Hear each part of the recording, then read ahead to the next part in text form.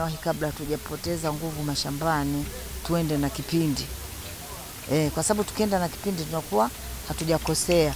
Lakini saizi elimu hii ni nzuri, tumeipenda, lakini tumeshapanda. Kama mwingine kaharibu kavuruga, haya, lakini tumeshapata. Lakini kwa sababu zingine ndogo ndogo tulikuwa tunaelekezwa, tumejaribu kufata kwa sababu si ndo wahitaji mm.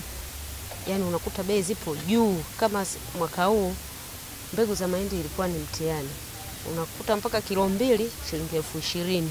Kwa mkulima mahali ya chini inakuwa ni shida kidogo, lakini zingekuja zingekuwa zinakuja mapema, labda kiangazi mwezi wa nane wa tisa, mkulima anajipanga mapema.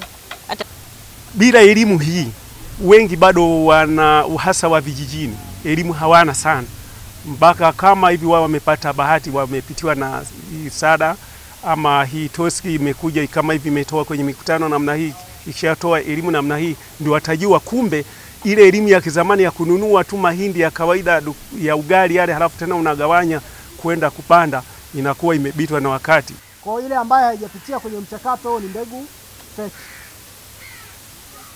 Kitu kingine ambacho unatakiwa kukifahamu ni kwamba kuna mbegu hafifu. Hii mbegu hafifu ni ipi? Ni mbegu ambayo imepunguza ubora wake. Alisema mtaalamu hapo, mbegu ishapimwa maabara. Kwa mazao haya ya mahindi, mtama, alizeti pamoja na maharage, ishapimwa maabara. Ikahifadhiwa ikawekwa kwenye kifungashio, inakaa kwa miezi saba. Ikiwa na ubora wake ule ule. Sasa baada ya miezi saba ubora una unapungua, ndio maana tunasema ni mbegu hafifu.